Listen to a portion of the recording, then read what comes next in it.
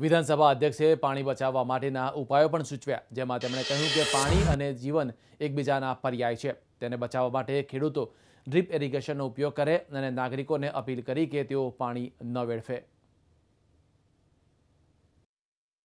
જળ એ જીવન છે. જનપ્રતિનિધિથી માંડી અને તમામ આબાલ વૃદ્ધ સૌએ જળ સંચય, જળ બચાવનો અભિગમ અપનાવવો જોઈએ. કલ્પના તો કરો પાણી ન હોય તો શું થાય? આ જીવન શક્ય જ ન રહે. ઝાડ, પાન, પશુ, પંખી, ઢોર, ઢાંખર. જીવનું અસ્તિત્વ જળ છે, કારણ કે શરીર સ્વયં પંચોતેર ટકા પાણીથી બનેલું છે. આ પાણીને બચાવવું એટલું જ જરૂરી છે, જેટલું જીવનને બચાવવું જરૂરી છે, કારણ કે એ બંને એકબીજાના પર્યાય છે.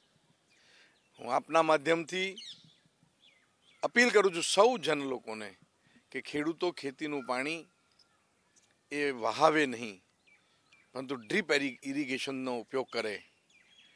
લોકો વાસણ ધોતા હોય, કપડાં ધોતા હોય, નળ ચાલુ રાખે છે, એ ન કરે.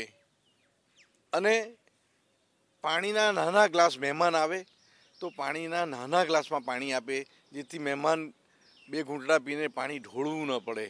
અને કદાચ એવો વખત આવે તો એને ક્યાંક ક્યારામાં ક્યાંક ઝાડમાં ક્યાંક વનસ્પતિમાં ઢોળજો.